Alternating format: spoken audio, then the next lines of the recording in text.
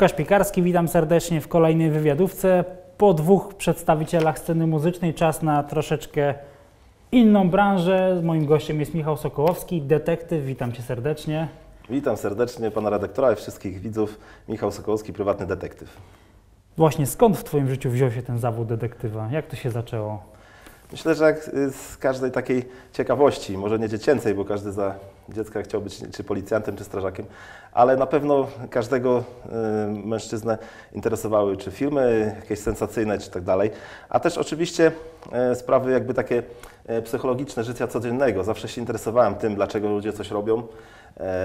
Też miałem do czynienia czy u znajomych, czy osób, czy w swoim nawet życiu prywatnym z różnymi kwestiami niekiedy wiadomo, e, jakieś takie filmy e, typowo o detektywach, jak detektyw Poirot, tak, odkrywanie spraw i tak dalej. Może ta kwestia, oczywiście też e, jakby ze swojego życia prywatnego, tak jak mówię, kwestia tego, że znałem troszeczkę osób, które popełniały błędy małżeńskie i wiedziałem jak to robią, dlatego też chciałem troszeczkę od innej strony na to spojrzeć. Mhm. A powiedz mi, czy detektyw w Grudziądzu, bo to jest zawód, myślę, że jak na nasze miasto, troszeczkę niszowy. Tak ma w ogóle zlecenia. Znaczy ja myślę, że... Pewnie masz, bo za co żyć e, pewnie trzeba, trzeba mieć, tak? Więc, więc... tak. Znaczy kwestie finansowe to na pewno nie są złe, ale jeśli chodzi o ilość zleceń, to nie ukrywam, no, jak w każdym mieście, Grudziądz pod niektórymi względami odstaje, ale pod względem, pod względem zdrad na pewno nie, więc jeżeli biorąc pod uwagę część e, usług detektywistycznych w kwestii właśnie zdrad, to, to, to, to ich jest tu niestety sporo.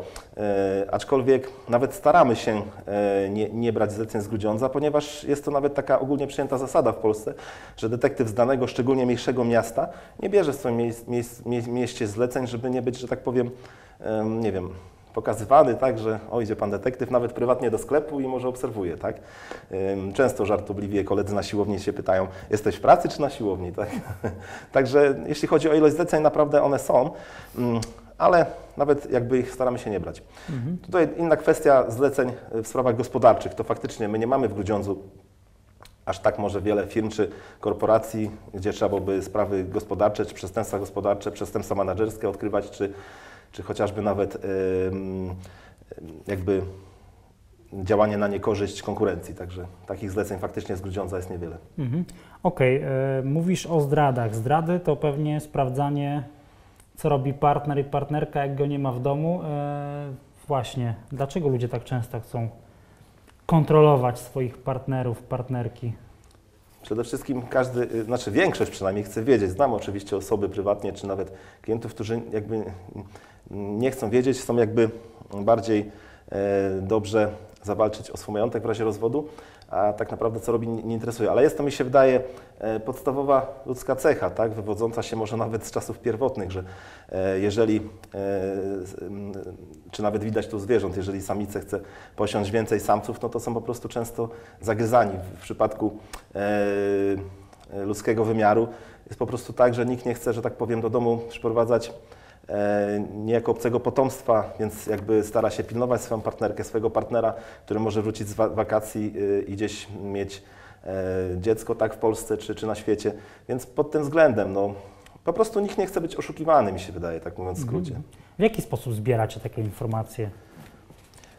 Y, szereg możliwości, y, czy zakres możliwości w tych czasach jest dosyć duży. E, nie będziemy tutaj sobie dodawać, bo mm, Niestety usługi detektywistyczne w Polsce ustawa jakby nie daje detektywom nie wiadomo e, jak wielkich możliwości. E, nie możemy działać jak policja, nie możemy legitymować, ale mm, bardzo fajną taką e, możliwość daje ustawa nam właśnie detektywistyczna, że możemy zbierać informacje i dane o osobie, materiał o osobie bez jej wiedzy i nawet zgody, czyli no, czyli podstawowe tak naprawdę zbieranie informacji. Stosuje się jakieś środki techniczne, oczywiście tylko dozwolone e, w ramach e, też tej ustawy, bo jakieś takie specjalistyczne środki e, inwigilacyjne, podsłuchowe, kontroli operacyjnej, jak to się mówi fachowo, to są dozwolone tylko dla służb, tak? Ale też należy zauważyć, na pewno pan redaktor zauważył, że e, czasami po prostu wyręczamy samego klienta, mamy może trochę więcej doświadczenia i sprytu, bo już sklepy detektywistyczne, internetowe nawet są pełne tego sprzętu i po prostu no też Y, Prywatnie ludzie też z tego sprzętu korzystają. Aczkolwiek należy dodać, że on jest troszeczkę słabej jakości. Czasami to są dosłownie zabawki. Mhm. Także. Okej, dobra. E, ogranicza Was ustawa, ale często oglądając takie seriale typu na przykład Malanowski i partnerzy, tam wydaje mi się, że nie wiem, nie, wiem- nie wiem jak jest w rzeczywistości, czy też możecie zainstalować kamery u kogoś w domu, podsłuchy. No właśnie, to jest ta magia telewizji, tak? Seriali detek- y, o detektywach i naciągania rzeczywistości, aby było bardziej sensacyjnie.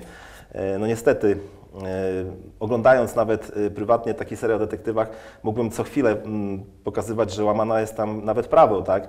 No, mm, przede wszystkim, no nie można włamywać się do, do, cudzych mieszkań i montować tam kamer, no chyba, że klucz nam da właściciel mieszkania i w tym momencie jest to możliwe, tak? Ale na serialach detektywistycznych często są pokazywane dosłownie włamania, tak?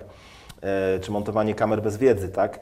E, Na przykład też taki ciekawy aspekt zawsze mm, czasami widuję w Malanowskim, gdzie na przykład na telefon e, pan Malanowski dzwoni do jakiegoś kolegi policjanta i on mu udziela informacji, że numer telefonu, z którego ktoś dzwonił, czy billing przez telefon udziela. No, e, Zarówno policjant już pewnie nie miał pracy, a pan Malanowski nie miał licencji, pewnie bo oboje mieli kłopoty z prawem, tak? Więc jest to wszystko na- naciągane. Okej, zdrada, bo to jest taki temat, który zauważyłem przynajmniej na Twoich portalach społecznościowych, bardzo często go poruszasz. Powiedz mi, czy zdrada zawsze musi oznaczać, nie wiem, rozwód, rozstanie? Znaczy, ym, tu w tych, tej kwestii mógłbym się wypowiedzieć zarówno i prywatnie, osobiście, i też y, zawodowo. Y, wiadomo, program dotyczy tutaj mojej zawodowej, y, zawodowego życia, więc powiem tak. Y, obserwując u klientów, czasami nie jest tak, że to oznacza rozwód i rozstanie. Y, Czasami mam zlecenia typowo, że ktoś chce, właśnie wracając do poprzedniego pytania, chce wiedzieć po prostu, co się dzieje i chce nawet odgonić tamtego konkurenta czy konkurentkę, tak? Y, Szczególnie kobiety chcą odganiać konkurentki. I Nie zawsze to oznacza rozwód. Prywatnie oczywiście też bardzo wiele razy się zastanawiałem nad tym. Y, Osobiście mogę powiedzieć, że raczej bym nie wybaczył nigdy zdrady, ale na przykład rozumiem osoby, które wybaczają, bo czasami y, właśnie biorąc pod, pod uwagę życie dalsze, y, jakby to powiedzieć, nawet taka moda jest, że czasami teraz obecnie, że czasami są imprezy związane z rozwodem, ze zdradą. Fajnie, żeśmy się rozstali. Ludzie podczas rozwodu wychodząc z sądu, hurra, jesteśmy wolni, tak? No ale niestety spotkając te osoby za 5 lat, za 4, okazuje się, że one jakby nic, żadnej alternatywy ciekawszej nie znalazły. Y, Spadły niejako spod, pod deszczu, y, z deszczu pod rynnę, więc należałoby się każdy osobiście zastanowić, czy y, nie warto czasami wybaczyć, szczególnie jeżeli są dzieci, jeżeli są jakieś inne kwestie, ludzi coś trzyma przy sobie. Jeżeli nie ma już uczucia, tak, miłości i tak dalej, to oczywiście zdrada jest przypieczętowaniem tego rozstania tak naprawdę, ale jeżeli nie, no to po kobietach często właśnie klientkach czasami y, słyszę, że one po prostu już najpierw się cieszyły z tego rozwodu, a potem się okazało, że poznawały tylko, że tak powiem, facetów, którzy się nimi bawili, tak, były przechodnimi kochankami, więc jakby z perspektywy tego, że kiedyś miały małżonka, uniosły się honorem, rzuciły się, rozwiodły, to teraz może nawet straciły, prawda? Mhm. Właśnie, bo przy tego typu właśnie sprawach jak zdrada, zazwyczaj jedna ze stron jest poszkodowana. Nie Tak. wiem, wy współpracujecie z jakimiś psychologami, czy sami musicie być takimi psychologami po części? Znaczy, tak, no, w tym zawodzie współpracuje się faktycznie z adwokatami, mecenesami i właśnie z psychologami y, y, zaprzyjaźnionymi. Mm, Ale oczywiście faktycznie też spotykam się z tym, e, że ludzie już nawet od pierwszej rozmowy, jeszcze wstępnej, przed usługą, e, rozmawiają ze mną, jakbym był psychologiem, spowiednikiem. Widuję często y, mężczyzn, którzy dosłownie płaczą, tak? Y, gdzie oczywiście ja się z tego absolutnie nie krytykuję, nie śmieję, bo to jest ludzkie, tak? No, mm, po prostu e, płaczą, bo albo oni popełnili błąd, albo płaczą, że po prostu są oszukiwani. Tak? Więc na pewno takie osoby potrzebują często psychologów, rady fachowca, tak dalej. No, ja na ile mogę oczywiście też po- pomagam. Mhm. Wspomniałeś przed chwilą o sprzęcie. Na YouTubie jest parę filmów, na, którym, na których prezentujesz specjalistyczny sprzęt. Wyobrażasz sobie swoją pracę bez tego sprzętu? Znaczy się, tak jak mówię, podstawową i tak metodą e, możliwościami detektywistycznymi jest tak naprawdę obserwacja, więc e, jakiś taki tu totalnie specjalistyczny sprzęt może nie jest potrzebny. On się e, oczywiście sprawdza, bo możemy kogoś z daleka usłyszeć, tak, e, co pomaga nam być niewidocznym, a zarazem słyszeć drugą osobę. Można coś nagrać w niepostrzeżony sposób, można odkryć czyjś podsłuch, więc na pewno sprzęt pomaga. Tylko tak naprawdę nadal liczy się tu taki trochę szczęście, tak, y, bycie w odpowiednim miejscu, w odpowiedniej porze, bo nawet, nawet y, służby czy jakieś wywiady świata korzystając z satelity, jeżeli e, szukają osoby i w odpowiednim momencie ta satelita nie spojrzy tam, gdzie ma, no to nie wykryją. Tak samo my. Więc tak naprawdę liczy się szczęście, doświadczenie, tak? Ale i ten sprzęt oczywiście pomaga. Mhm. E, Często detektywi chcą pozostawać tak trochę w ukryciu, anonimowi. Ty i pewnie wielu innych też działacie trochę publicznie, chociażby udział w telewizji śniadaniowej e, sprzed pewnego czasu. E, Taka publiczna działalność, ona przeszkadza w pracy detektywa, czy może bardziej pomaga? Znaczy trzeba mieć na uwadze, że zarówno detektyw, jak, czy jakakolwiek inna działalność musi się reklamować. Nie mamy klientów, nie mamy z czego żyć. Możemy być nawet de detektywem Poirot, czy kimś, kto pracował 14 czy 15 lat w wywiadzie. Nie będziemy mieli klientów, więc mm, pewna forma reklamy na pewno jest ważna, a telewizja publiczna, y, co by o niej nie mówić, akurat tej kwestii pomogła. E, telefonu było mnóstwo.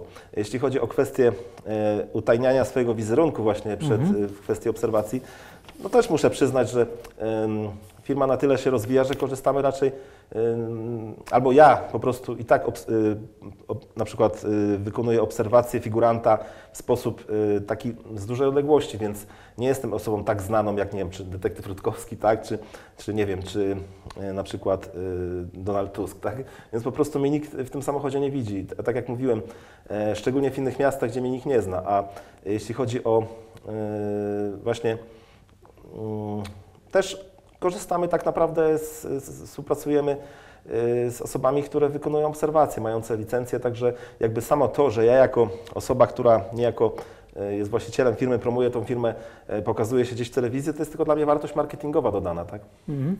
Okej, dobra, to mam jeszcze jedno pytanie dla Ciebie. Powiedz, w jakich sytuacjach powinno się skierować właśnie po usługę detektywistyczną? Na pewno z usługi detektywistycznej y, można s- skorzystać wtedy, y, kiedy mamy jakiś taki problem właśnie, czy związany ze sprawą gospodarczą, z nieuczciwym pracownikiem, czy właśnie ze zdradą, a sami, no nawet można powiedzieć, kolokwialnie mamy czasu tak na to, albo po prostu chcemy skorzystać z, z usługi kogoś, kto już to robi, na czym się zna.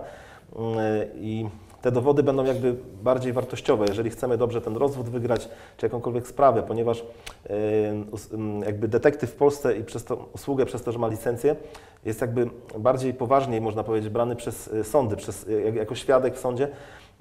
Jakby moja wypowiedź czy dowody, które zbieramy, jest niejako silniejszym dowodem niż na przykład zeznania mamy, która może e, na korzyść swojego synusia dobrze zeznawać. Więc jeżeli ktoś, ym, wiadomo, usługi detektywistyczne kosztują, ale e, w rezultacie wystarczy usiąść z kalkulatorem, szczególnie mężczyźni, gdzie potem czasami źle wygrywając rozwód płacą bardzo duże alimenty, nie tylko na dziecko, ale i na kobietę, tak, że na przykład kobieta rzekomo nie może pracować i on musi płacić na przykład 1000 zł miesięcznie alimentów przez lata. Więc biorąc to na uwagę, mając to na uwadze, to można powiedzieć, że warto skorzystać z usługi detektywistycznej, nawet chociażby dla własnego sumienia, że zrobiłem wszystko, tak?